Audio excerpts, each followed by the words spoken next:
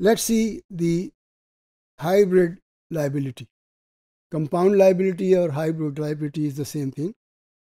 A Limited issued 2006% convertible bond at par of $1000 each.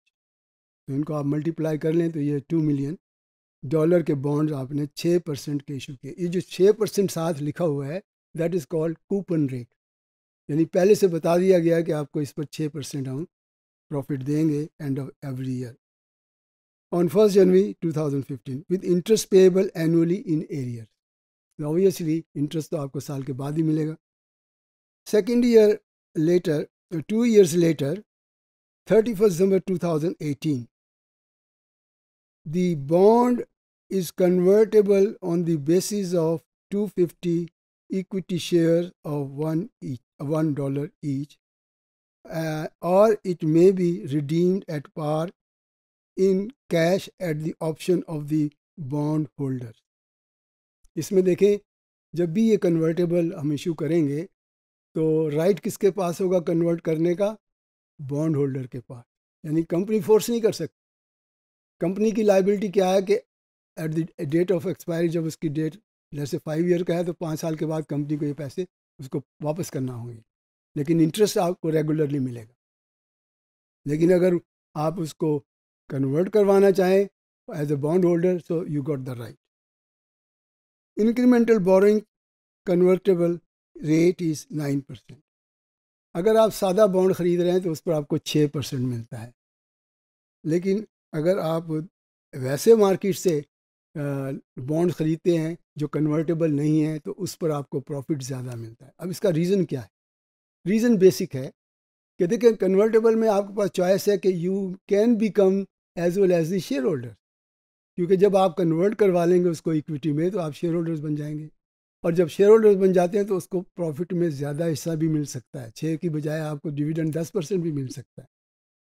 तो ये reason है कि जो नॉन कन्वर्टेबल बॉन्ड होते हैं, उस पर रेट ऑफ़ इंटरेस्ट ज़्यादा होता है और कन्वर्टेबल पर कम होता है।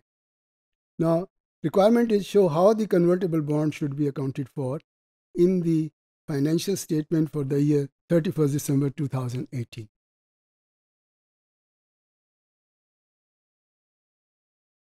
ना इसमें जो एक कैलकुलेशन इन्वॉल्व है ना, चूँकि इसमें इक्विटी और डेट दोनों शामिल हैं कंपाउंड है ना तो इसलिए इसकी, इसमें थोड़ी सी कैलकुलेशन में प्रॉब्लम आती है। नंबर वन कि देखिए आपको at the end of the day आपको टू मिलियन मिलेगा। यानी जब आपका ये कंप्लीट हो जाएगा प्रिंसिपल आपको टू मिलियन मिलेगा। लेकिन वो मिलेगा आपको उसके जो टाइम फ्रेम है चार साल के बाद। अब चार साल के बाद उसकी टाइम वैल्यू जो है मनी जो है वो, उसकी वैल्यू जो है ना वो कम हो जाएगी। उसकी प्रेजेंट वैल्यू निकालना पड़ेगा। तो देखिए प्रिंसिपल की अगर आप प्रेजेंट वैल्यू निकालें फोर्थ ईयर में इसकी वैल्यू क्या रह जाएगी? तो उसके लिए आपको नाइन परसेंट का जो प्रेजेंट वैल्यू फैक्टर है which is seven zero eight four three इससे मल्टीप्लाई करें। तो देखें उसकी फिगर जो है टू मिलियन की बजाय one point four one six eight hundred million रह जाती है। टाइम वैल्यू मनी का मतलब यही है कि जो जो वक्त गुजरता जाता है, पैसे की वैल्यू कम होती चली जाती है।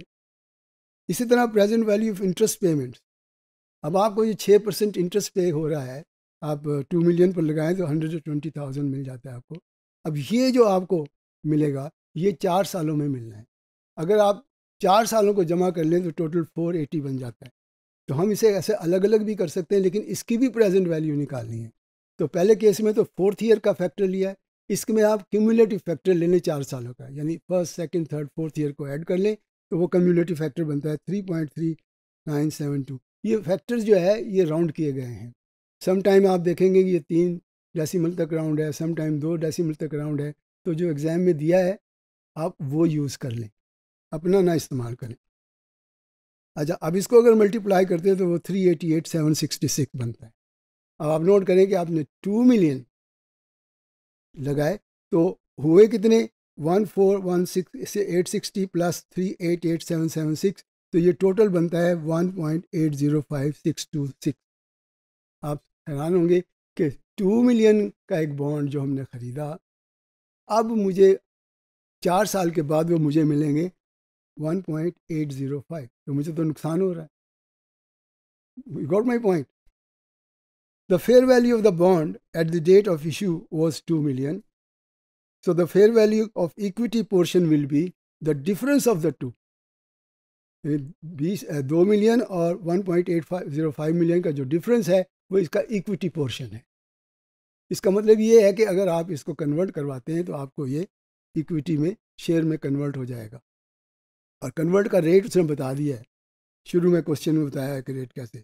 अब देखिए इसकी एंट्री जो बनेगी शुरू में, इनिशियल एंट्री जो बनेगी, आप कैश को डेबिट करें, क्योंकि तो आपने इशू किए। बॉन्ड्स पेएबल, ये आपकी लाइबिलिटी और शेयर प्रीमियम कन्वर्जन, या आप सिंपली इसको कह सकते हैं इक्विटी। क्योंकि शेयर प्रीमियम जो है वो वो इक्विटी का ही पार्ट बनता है। वो कहीं और प्रॉफिट एंड लॉस अकाउंट में नहीं जा सकता।